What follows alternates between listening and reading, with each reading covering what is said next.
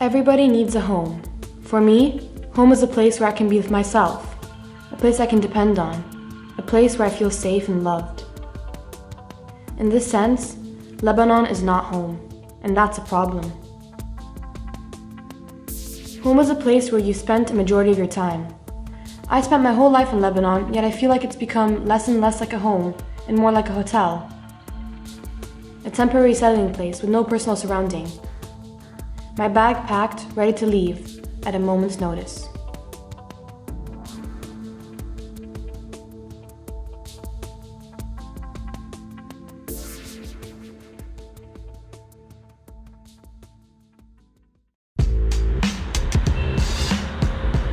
We are eight teenagers coming from different backgrounds, from different religions, and we are here to say what we have always been afraid to say. Dear Lebanon, if you don't listen to us, we will be forced to leave, just like so many have done before us. Anyone who's ever left couldn't see a future in this country anymore, and they couldn't find what they were looking for opportunities, unity, and peace. But we love this place. We call it home. We don't want to give it up. We want to change.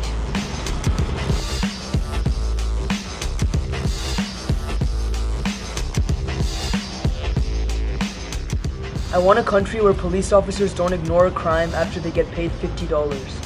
I want a country where everyone is heard, not just the ones who have money. I want to be able to thrive in my country rather than have to go somewhere else. I want to go inside a cab without being questioned about my background or religion. I want a country where I can go out of the home as a whole piece and come back as a whole piece. I want a country where I can live in peace. I want freedom fighters, not gangsters. I want a country where I'm not afraid to speak my mind.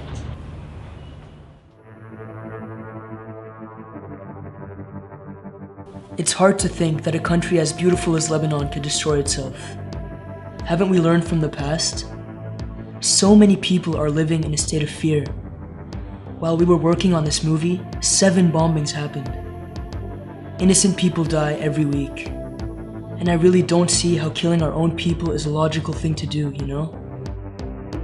I mean, I don't think religious and political differences should be a factor in deciding who lives and who doesn't. We just need to open up our eyes and realize that the violence has to stop.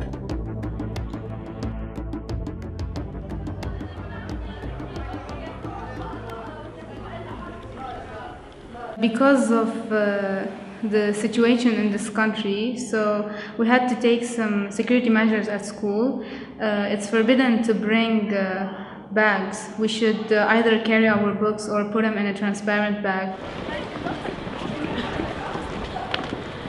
We were shocked because we didn't expect that the country would be this bad in, in, in, in this situation.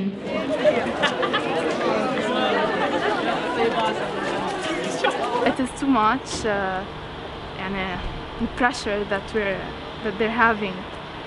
يعني we're holding the books and coming to school and إنه خلاص يعني we've had enough.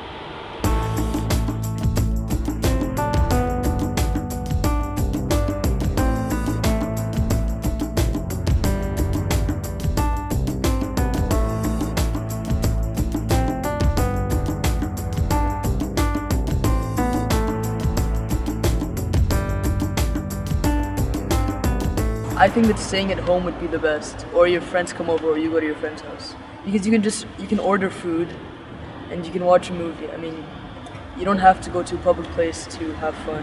I don't really feel safe anymore going out with my friends at any given time of the week.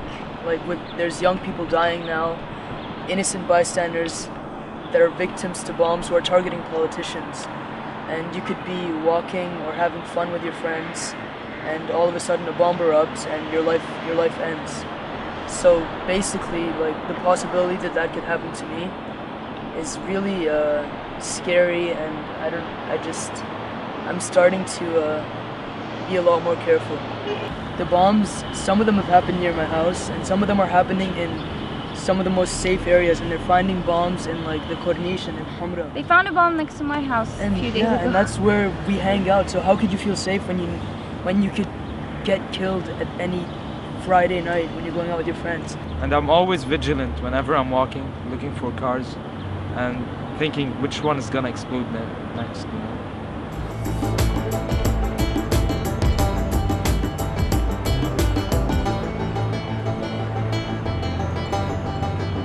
Have this joke, me and my sister, like every time I check that everyone's okay and that, that they're okay, then at the end when I have to go back to class, I'm like, I'm glad you're alive, and then she says, I'm glad you're alive, and it's like sort of, you know, sarcastically talking about the situation because you can't if you take it seriously it's just gonna make you very depressed but if you try to laugh about it and i think a lot of the lebanese people try to laugh about it There has been so many explosions that they actually made an application for it.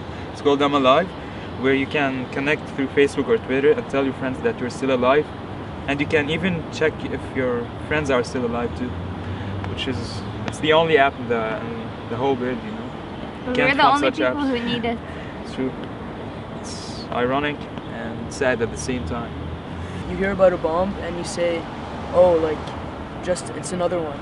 So we don't really we don't really care about it And anymore. that's very dangerous when people like don't care anymore because it's it's kind of like to show that people don't have hope of changing that anymore. They just I kind of accept it. Yeah, and I think every, with every bomb, people lose more hope of improving Lebanon. When an explosion happens, I feel like I want to go to the street and see a revolution happening, you know?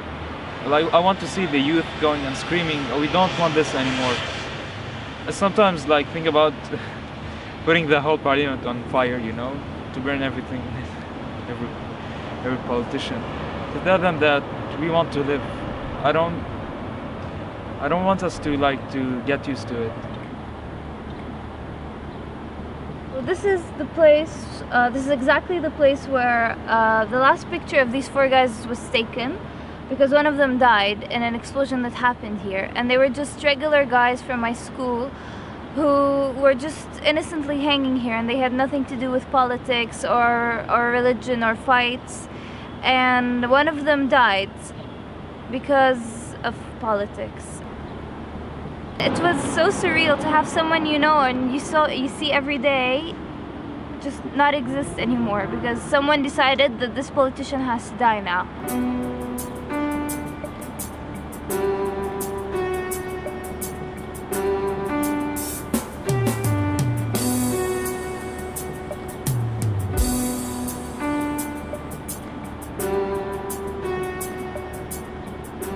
When I found out about the explosion, I uh, I was really I was shocked because I, at first I like I, I I thought that people were joking or something because I, we never think that people we know could die in an explosion, and you never think that you know people you see every day at school can can be affected by by something you you don't really think about as personally. You know, you you think of explosions and then you think of the people you know as safe and guarded and this explosion really showed that that's not true and that it could kill anyone.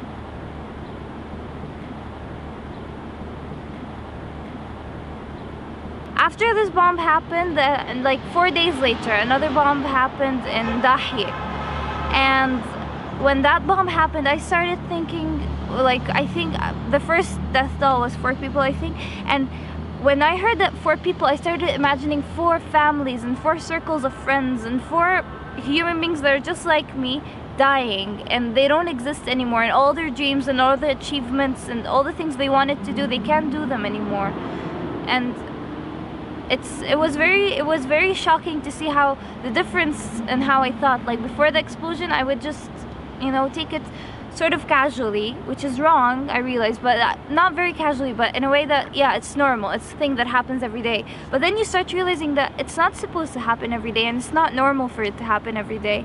And a lot of young people in my school, almost mo- all of them who knew Muhammad, started rebelling against the idea and that we're not we're not gonna take this anymore and we're gonna do something.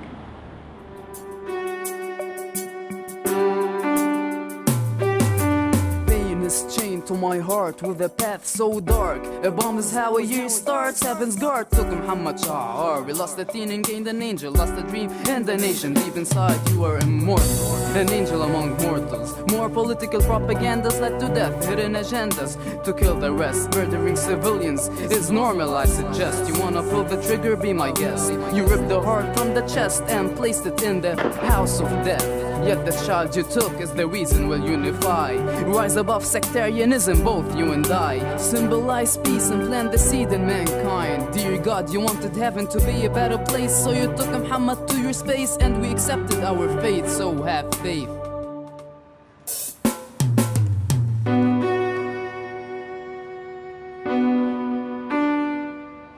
Well, uh, the funny thing is, like, I, I didn't even know the guy, but he was 16, and he, he wasn't supposed to die, man. Seriously, that's, that's my country? I doubt so. I don't want this. So, as I held the pen, writing, like, down the lyrics to the song, uh, I was like, it's like I'm talking to a story that really affected me and you can relate to the subject because I'm a teen myself, so it could happen to me. I would have been there, I would have been dead, and who would care? So basically, this is the studio. We're gonna perform a song about the politics in Lebanon and the society overall. Absat will do the Arabic verse, and I will do the English verse. Okay, beat please. I found myself in hip hop. I found like I can express who I am. I can show the people who I am I can share my thoughts, my beliefs, and everything. So hip hop reflects the life of politics in a way that is smooth somehow, you know, to the ear Like uh, in a way that shows you, oh, so that's what's happening in Lebanon. This is the politics, but in a, in a musical way. We're singing for a goal. We're trying to make a change.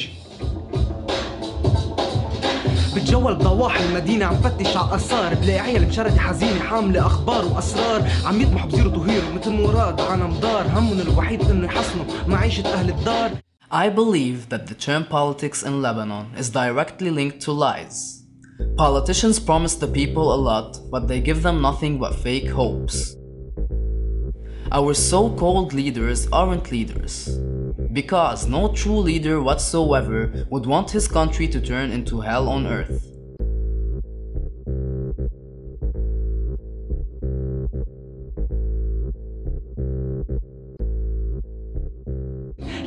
بيفكر بيندعس تحت الإجران فالمكان الوحيد المنصف هو الجنة.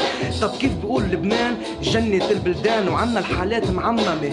وين ما كان المصاري بتحكي من هيك ما بيحكي الفقير أو بيحكي وما بينسمع كونهم كلهم فريق. حك فائد للوعي لواعي عم يتحكم. بيعمل حاله دكتور هو ضروري يتحكم. بيتخانقوا على الشاشة تحت الطاولة مسكين الإيد ورجال الاديان بس بيطلعوا بيحكوا على العيد Some say politics must go on like this for the stability of the country. But how stupid is it to believe that there is no alternative at all to this corrupt system? The problem about politics here is that it only serves the needs of the politicians and not the people.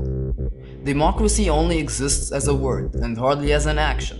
You become someone because you belong to a certain sect, party, or family, and not because you have the skills to lead a country. And then there is the media, a brainwashing machine. It's like the match that ignites the fire. It shows you lies that you believe is truth. This breaks the society to pieces. Each politician has a channel of his own that he uses to show his good sides and the bad sides of the other teams. This leads to nothing but chaos. You may say I am politically indifferent, but that is for a reason. There are so many sects in, in Lebanon. I think there's around 19 or 18, I think.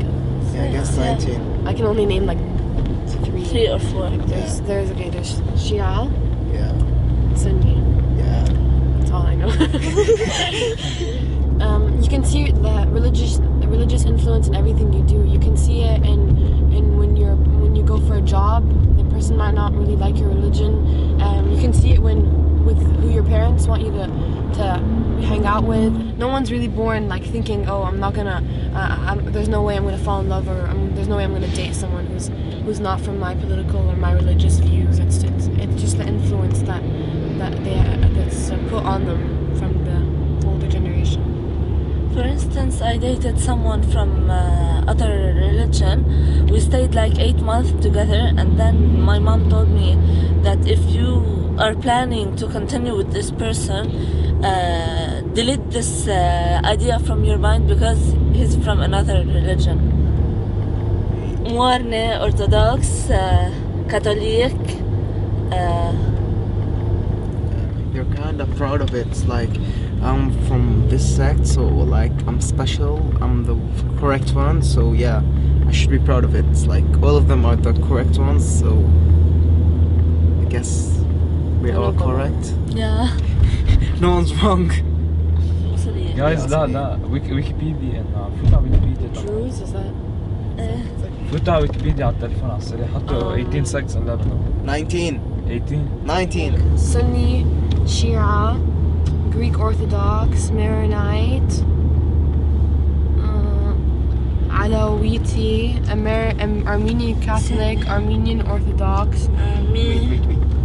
Yeah, we forgot about the uh, Armenians. Jewish, Druze, Syria Catholic.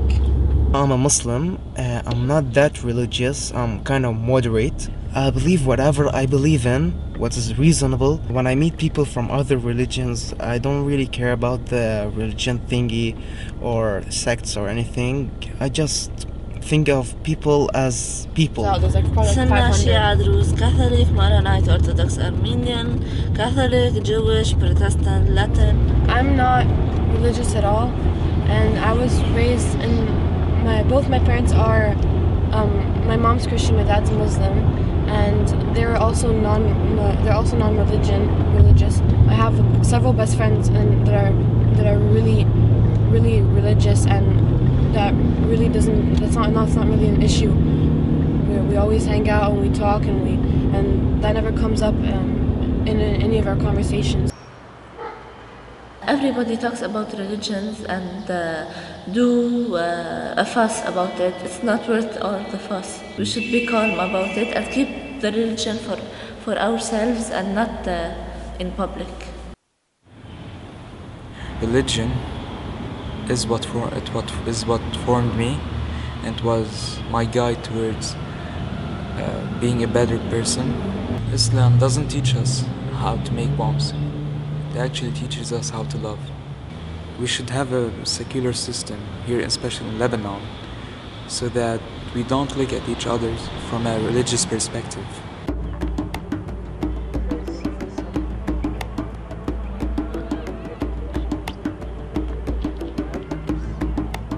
If I could make a new country, a new Lebanon, I would make it a country with, with no religion and no politics, a country where there's diversity and equality. Like they people like uh, like when they're gonna help each other, they don't ask which sect they are or which religion, they just help. I wanted to join like the scouts, but that the scouts was it belonged to a church, but it was because it was uh, in a certain area. My dad, uh, by that my dad knows that that area is for a certain sect, so that's the reason why he didn't let me join the scouts because of the sect. Like they're so into politics and stuff. We wouldn't say that to our kid, like no, don't go to the scouts because it uh, it's a certain sect. No, we wouldn't care about it. Politics and religion they caused many problems and many wars and if there wasn't that there wouldn't have been wars and stuff I have no idea what you're saying. I believe that all the politicians in Lebanon do will never do anything productive or good for Lebanon. And because of that, I don't see a reason for supporting someone who's not going to do anything good or bring about a positive change in Lebanese society.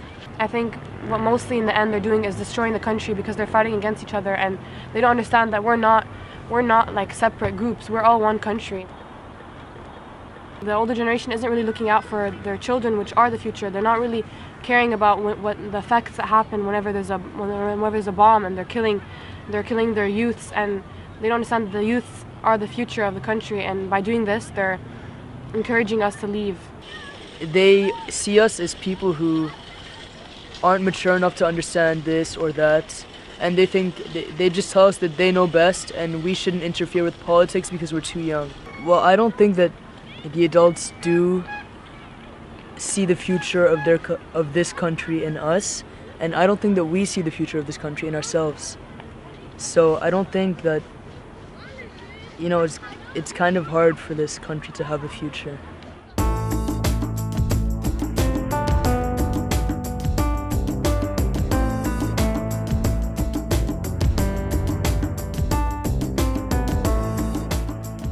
I see a dead end to Lebanon's future. We have tried to speak up and nobody listened to us. No one cared about us. The best solution would be to leave the country find another place to call home. And hopefully, one day, the governors will notice that without us, Lebanon will die and will lose all its power because we are its power. But we are not alone. Not only teenagers claim a better Lebanon. So we met two guys that are a kind of role models for us. We wanted to know what they think about the situation in our country, and we wanted some advice for the change we are longing for. You resigned as a minister because you recognized that the Lebanese politics cannot be changed, perhaps. Um, why is it so hard to change the country's uh, politics? We have a huge issue with the system. Our political system, our constitutional system, it is not working. Honestly, it is not working. I am one of those who were sitting at the uh, Council of Ministers uh, meeting, uh, and I felt to what extent sometimes you are weakened just because you don't belong to a political group. I've seen what you're talking about at the university level, where in the elections, the people with no one, like me, for example, they were not like uh, they were attacked by the, the, other parties because they did not want to vote. Uh, they did not they did not want to participate as you know one of the parties. I it's too bad to see yeah, this even yeah. at. Let me let me, uh, if I may, tell you that you're you're not no one. I mean, you're you don't belong to a structure. You don't belong to a political group and therefore you feel that you don't belong anywhere and that you don't exist. If all those who think like you do are able to gather in a structure, they will be stronger. And that's what what uh, what is lacking. We don't have structure, any structure, to absorb uh, those who are like you, Amar. Uh, they feel that they don't belong here or there. What would you tell me, for example, if I if I say that I'm planning to immigrate? I wouldn't. I'll tell you why. Because I, I believe in freedom of choice. Many Lebanese people would like to go abroad to study. And studying abroad is an excellent um, experience. I really get worried when I feel that people, and especially young people, are leaving the country not because they, they cannot find a job here, not because they cannot study here, but most, mostly because they don't feel that they belong here anymore in their mind, in their culture, in the, in the way they, they see things. And that's what's, what, what we need to, to address. That's what we need to, to change because this is what really worries me.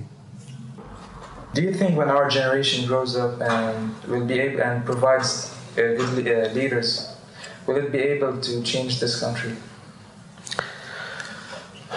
If you keep uh, addressing the issues the same way we and all this uh, addressed, no change will happen. Because we're, in a way, dealing with everything in a traditional manner. And what you need is a shock. You need to make things different, to do things differently. You need to take them somewhere where they are not, where it's not their field. Take them to alternatives. Take them to challenge them somewhere where they, they, they don't feel comfortable. I think that young people should start by saying no. You know, when, when you say no, this is a, a good thing to start with.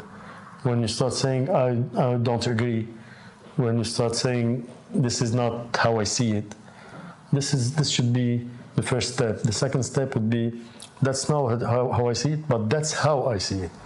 I mean, to propose an alternative, because young people are able to propose alternatives. When um, a friend of mine in school died in a bomb, Muhammad Shah, I think you've heard of him. Of course. Yeah. Yeah, um, we we had all this anger and all this. We had we had we felt like we had potential to make a change, but we didn't really know what to do.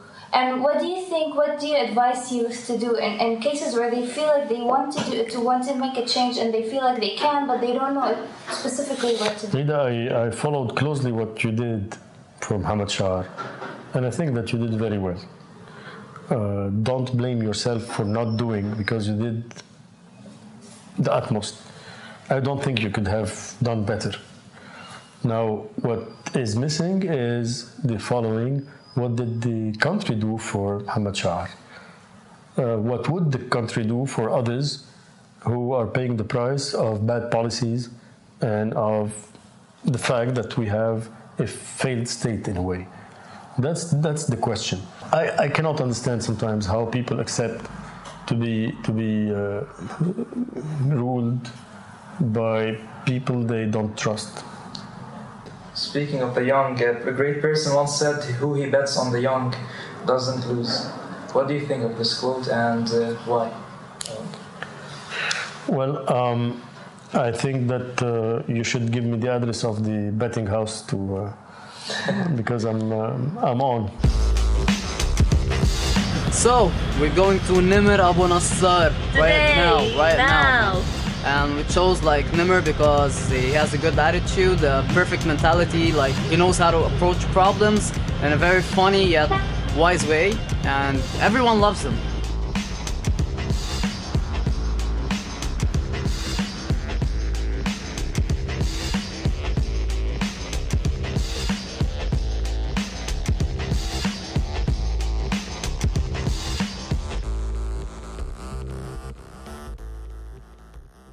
Why did you establish your brand of comedy under the creed no politics, no religion, one love? What was the purpose? I figured that if I do a, a, a comedy scene where there is none of the divisions and there's just talking about everything we have in common, which is society, money problems, relationship problems, driving problems, you know, everyday stuff, the stuff that matters, then I felt I could fill up more people in a room and remind them what they have in common. Because if you're Muslim, you're Christian, I'm just saying, I don't know what you are, but let's say you're Muslim, you're Christian, you're Jewish, whatever, and you guys are sitting together and I say a joke and all three of you laugh, guess what? It turns out you guys have that in common. What I do address, and I have addressed in my shows, on the radio, everything, is I say, any political person in the country, yeah. fuck you. I've said that. But I do say one thing I say, I'm not saying they're all bad. Some of them have good intentions. Who I think has good intentions, also a private matter. But some people believe other people have. Who am I to judge who's wrong or right? In my opinion, some people have good intentions. But even those people, fuck you. Because you've joined a system that is part of the destruction of our country. And if you're going to be in that system, you can't change the system. That's the rule of life. You know that saying, don't hate the player, hate the game? Yeah. Yeah, well, if you want to change the game, you don't join it. If you want to play basketball, you play basketball. If you want basketball to become football, you can't do that while you're playing dribbling the ball down the court. You're going to have to go to the people who run the basketball association, the crowds who pay the money for the tickets for the basketball association, get the crowd to start demanding that basketball becomes like football and not paying unless it becomes like football. And guess what? Suddenly you've got basketball that's football, but you don't do that on the court. Politics is not, in my opinion, something that you can say is good or bad. Politics reflects society.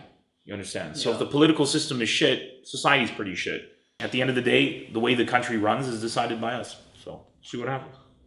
You once said that you boycotted like the Lebanese media. Mhm, that's still- Well, why? Because they follow. I believe Lebanese media is part of the cancer of this country, one of the major problems of this country. So I don't watch the news.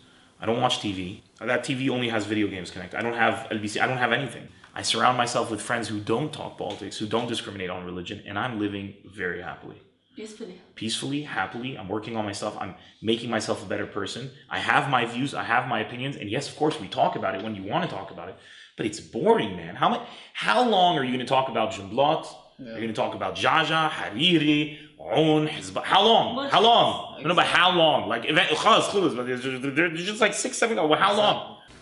Uh, most of the youth in Lebanon look up to you. Taking It's because I'm really tall. Do you have words of wisdom to tell the youth? No politics, no religion, one love. That would be the only thing. If you live your life like that, you know, you'll end up making a lot of cool friends. You'll eat a lot of great food. If you're Christian, you'll love Ramadan. You know what I'm saying? And if you're Muslim, you'll love Christmas. No, wait, uh, I'm Druze. I got the benefit of both. Druze, if you're if you're Druze, you love Ramadan and Christmas. Yeah. You get to eat on both Yeah, days. exactly. You get invited to both holidays. Yeah. You know what I'm saying? Whenever you study, whenever you read, whenever you do something that makes you better as an individual, you're actually helping that change.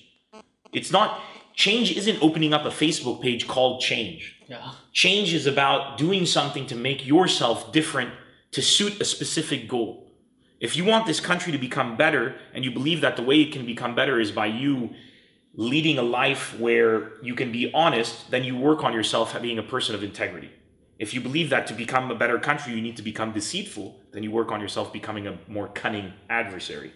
And everybody that's how you just work on yourself. And just by doing that, you're affecting change. I think it's kind of hard. I mean, this project, like we're trying to do so a few things, but to really bring change, I mean, what are a few teenagers going to do against all these politicians and these their thousands of followers? No, if like if teenagers we like speak up in the society, I guess we can make a big change. Yeah, we like if we if we like learn to only support something and only do something because we actually believe in it and we don't and, and we're not doing it just because we're being told that we should believe in it i think we, we could have a lot of effect because obviously there are lots of kids and teenagers in lebanon and if we if we do something based on on thinking rather than just being brainwashed into thinking it then i think we could have a large effect and we, we could possibly change lebanon I have hope because before the Civil War, I saw some pictures of Lebanon, and everyone's like my grandparents told me how amazing it was before, and I guess that kind of gives us hope that okay, so it was like that before. If we did it once, we could do it again. Do you know that this area used to be the place where, uh, like, a border of fighting? They used to fight here, the Muslims and the Christians, right, right here, this line. And now we're here together from different sects.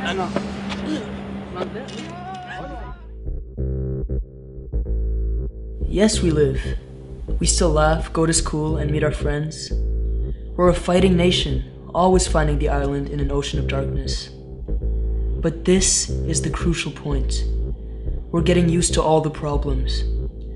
We dislike politics, hate leaders, feel unsafe, and still we do nothing about it.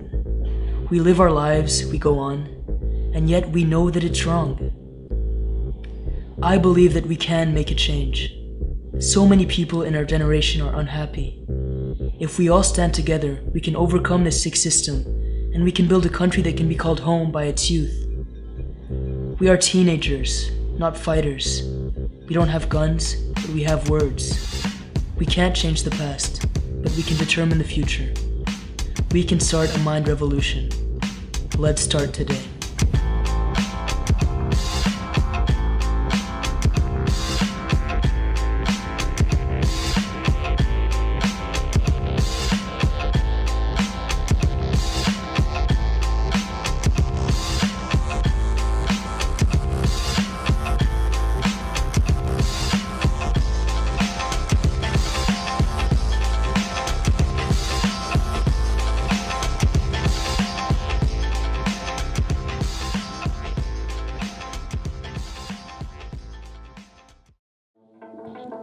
The streets took a kid, we can't bear every hit. The world spins and we're still stuck, standing still like an empty clock. You wanna cry? Welcome to my world. They won't stab you with a knife, they slice you with a sword. They fight with guns, we defend with words. Real pain is the reason I'm here. You'll hate what you hear, but I walk with spears in my heart and voices in my ear.